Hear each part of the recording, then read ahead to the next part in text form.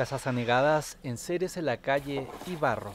Los afectados por la dana más devastadora del siglo intentan sobreponerse a las pérdidas humanas y materiales.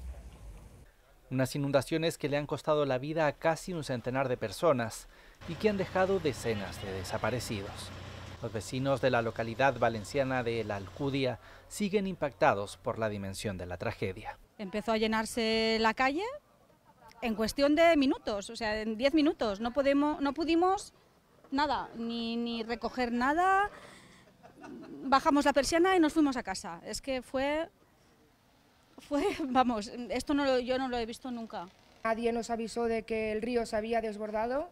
Nos dimos cuenta cuando ya la, la calle iba llena. Y el de mi hermana pues se lo llevó, o sea, se lo llevó directamente en la avenida, se lo llevó, estaba aparcado y se lo llevó flotando. O sea, aquel irrecuperable, totalmente.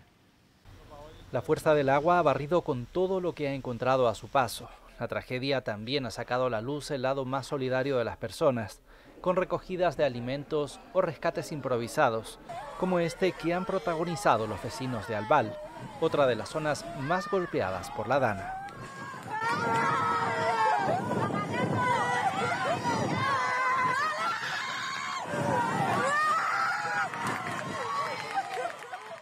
Los bomberos siguen trabajando en labores de limpieza y desescombro en las zonas afectadas, mientras los equipos de rescate reanudan los esfuerzos por localizar a los desaparecidos.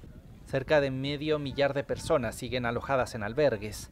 Aún hay poblaciones sin electricidad y se ha repuesto el suministro a 42.000 de los 155.000 afectados en Valencia. La Dirección General de Tráfico mantiene la recomendación de no circular por ninguna carretera de la provincia valenciana.